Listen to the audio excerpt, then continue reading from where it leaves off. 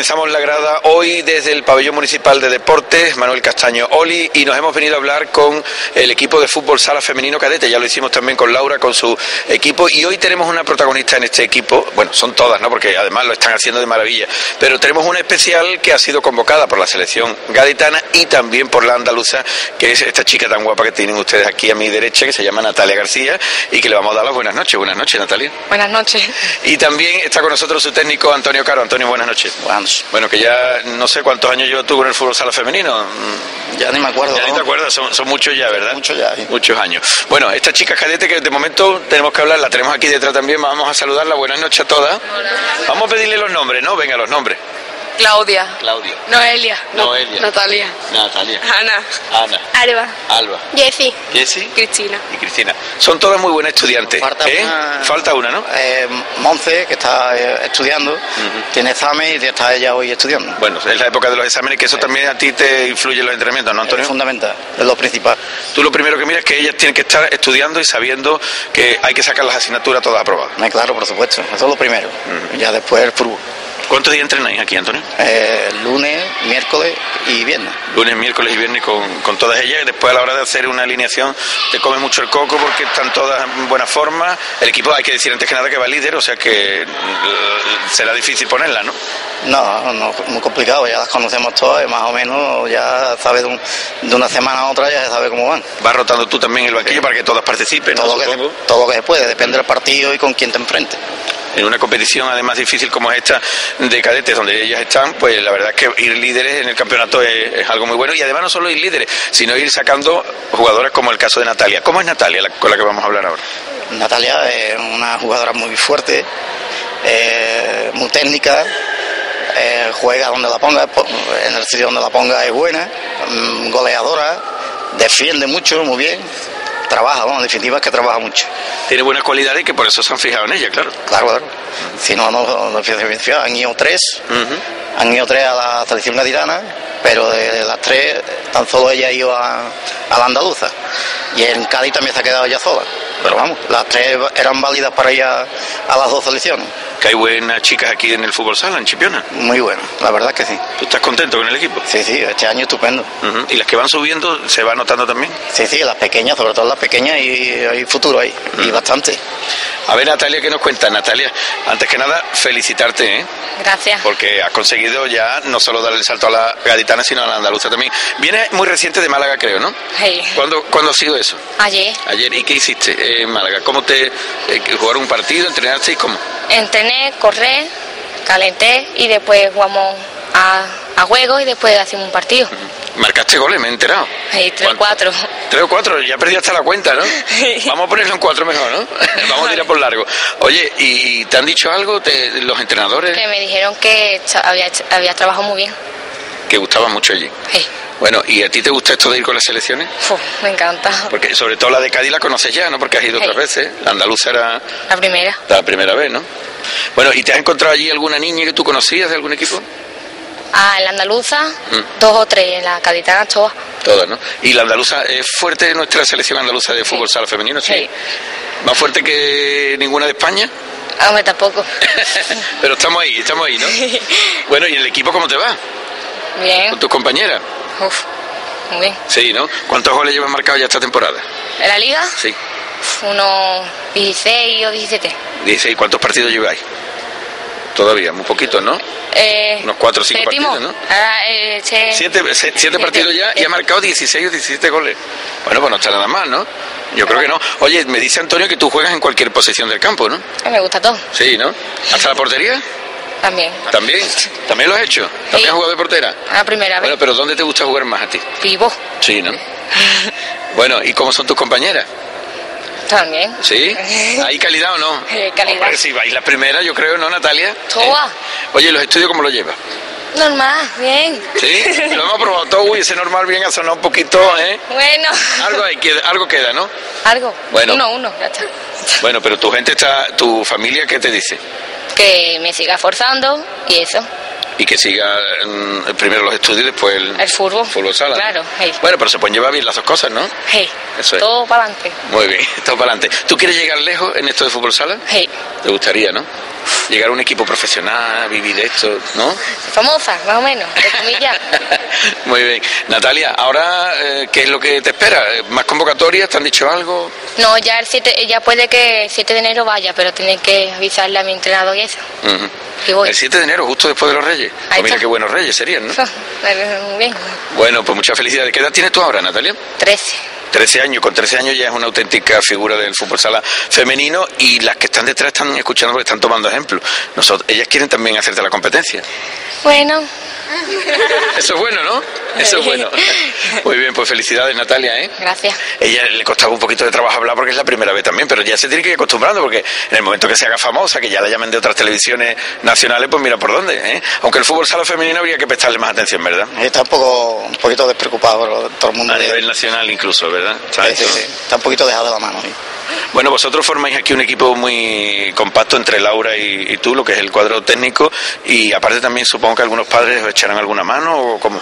Eh, sí, sí, los padres ayudan lo que pueden. Para- Sobre todo en el transporte, que donde más falta nos hacen. Claro, tenéis que buscarse la vida para ir a los Para desplazamientos. desplazamientos, para, para todo. Eh, económicamente también, en fin. El objetivo que os habéis marcado, Antonio, ¿cuál es este año? Este año, pues, seguir trabajando y si todo lo que venga, pues, puede ser ganar la liga también. ¿Eh? Eh, tenemos fenómenos como Natalia y el personaje este que está aquí atrás, pues mira, Hay que cuidarla que no se vayan a lesionar ni a resfriar mucho este invierno, ¿no? no lo miente siquiera. Porque Mejor vamos a dejarlo ahí, ¿no? vamos a dejarlo ahí. Bueno, pues nada, felicitar a todas y que paséis. eh, creo que esta semana descansáis, ¿no? Eh, bueno, porque... Sí, sí, ya ahora vienen las vacaciones de Navidad, Navidad. y ya comenzamos ya la, la segunda vuelta.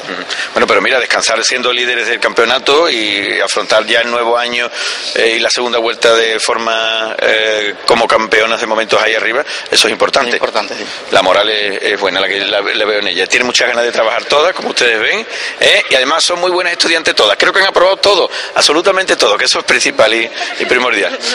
Alguna se ríe por ahí detrás. Bueno, pues Antonio, felicidades por el trabajo que hacéis en el fútbol sala y a sacar muchas niñas como Natalia. Gracias a ustedes por haber venido y que sigáis viniendo más y tener al pueblo más informado de lo que tenemos aquí. Pues estaremos atentos todos los martes en la grada a los resultados del equipo de fútbol sala y vendremos también a grabar algunos partiditos que, que nos quedan pendientes todavía en esta segunda vuelta que ya la cosa está más emocionante y si hay que venir a la celebración del campeonato de liga se viene también Esperemos. ¿eh? a, a brindar aquí con sidra porque son muy pequeñitas, champán todavía no ¿eh? o con, o con Coca-Cola muchas gracias y felicidades Venga, ustedes. bueno, pues nosotros vamos a irnos de aquí al Club Deportivo Sakurayón porque ha comenzado la Escuela Municipal de Karate, así que nada, el tiempo de hacer una breve pausa para conocer un poco los resultados que hay de esta jornada en la primera andaluza, la próxima jornada, y enseguida estamos a la vuelta. Y estos son los resultados de la decimotercera jornada de Primera Andaluza. Tesorillo 0, Puerto Real 0, Valverdeña 3, Chiclana 0, Algaida 1, Chipiona 1, Jerez 1, Jerez 0, Balón 1, Los Barrios 0, Chiclana 2, Aljaraque 0, Roteña 1, Bazán 2, Guadalcacín 3, Rota 1 y Mazagón 2, Atlético Saluqueño 0. La clasificación comandada por el Guadalcacín con 31 puntos, segundo Los Barrios con 28, tercero Valverdeña con 23 y el Chipiona es cuarto con 22 puntos. Cierra la clasificación Tesorillo con 4, Jereza con 7 y Jerez con 11 puntos. Para la próxima jornada, Rota Mazagón, Puerto Real Guadalcacín, Chiclana Tesorillo, Chipiona Valverdeña, Jerez Algaida, Los Barrios Jereza, Aljaraque Balón, Bazán Chiclana y Atlético Saluqueño Roteña.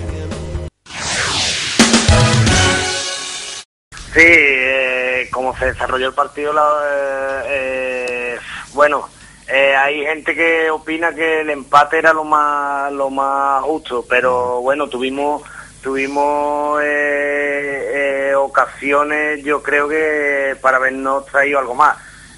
Sí es verdad que, que bueno, cuando cuando llegas y no y no y no finalizas, pues lo que tienes, que después en cualquier contra te cogen y, y toca remontar, como nos está pasando muchas veces. Yo no sé los terrenos de juego que os habéis encontrado, Carlos, este año, pero esto era demencial. Desde la grada se veía cualquier cosa menos un partido de fútbol. El balón botaba de una forma eh, súper extraña. eh, Sí. Bueno, aquello estaba muy, muy, muy irregular y mm, por lo que nos Sí, comentaba la mal, gente... mal, sí. eh, ya cuando entramos ya des- desde, arriba lo, íbamos comentando que, que eh, con el poco tiempo que hace que se había resembrado ese campo eh, desde arriba a vista de vamos desde la grada eh, parecía que estaba mal.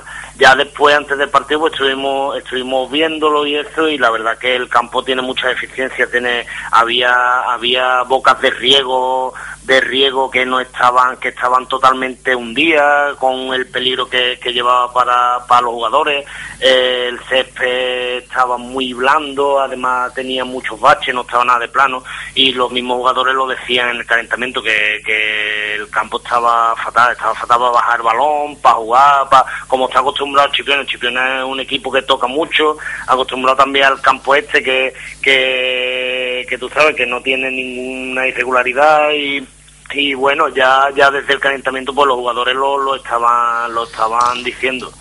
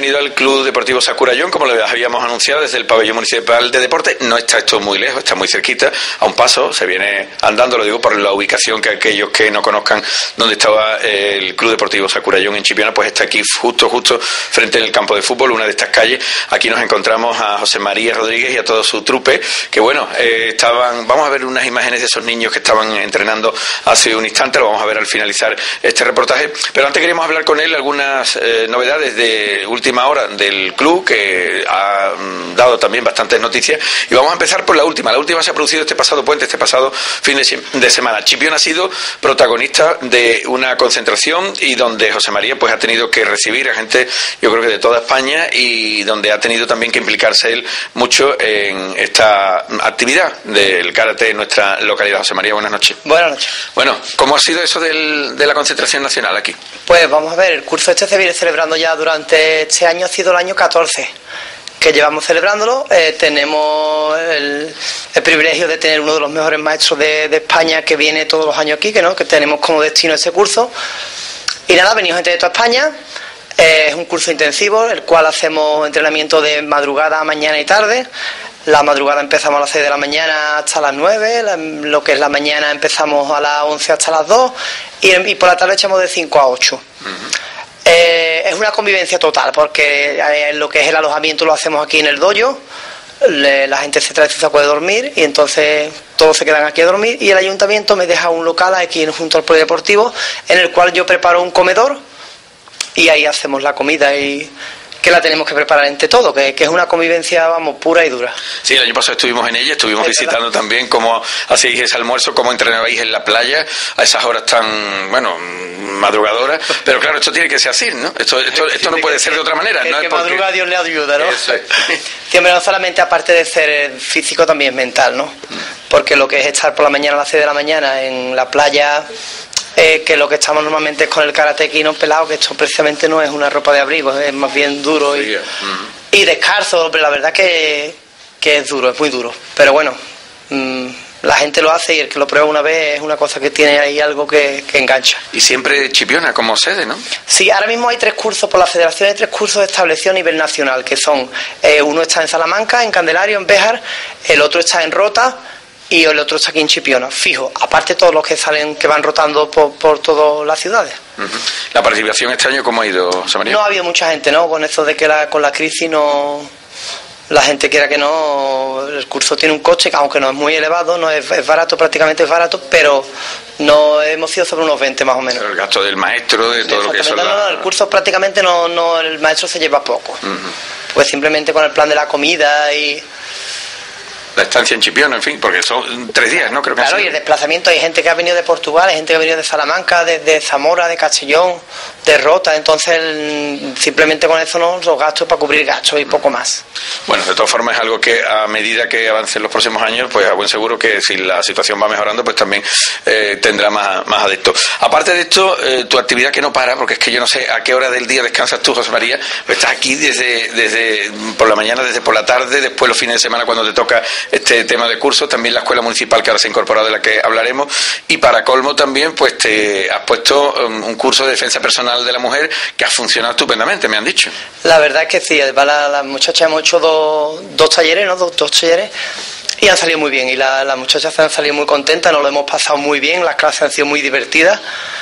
Y nada, eh, al final hemos conseguido hacer un grupito que empezamos, eh, no tenemos seguro si vamos a empezar si el día 16 o el 2 de enero. Eh, o un día o el otro empezamos. Y a ver si conseguimos que el grupito este se mantenga todo el año. Y para la mujer, pues es lo ideal. La clase va a estar enfocada en un trabajo de mucho aeróbico, mucho trabajo, mucho físico, mucha elasticidad y aparte, pues un poquito de defensa, ¿no?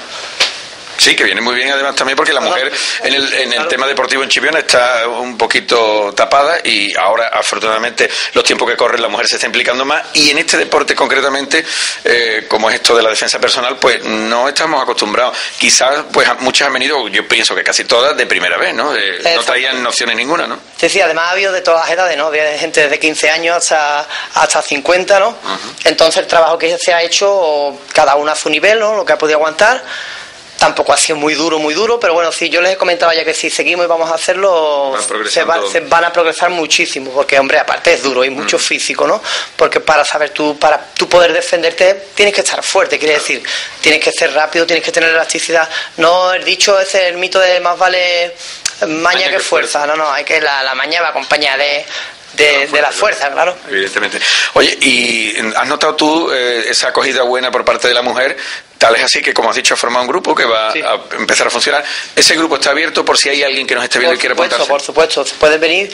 Además que seguramente lo que es el día 16 haga una jornada de puertas abiertas lo que, lo que es el resto del mes.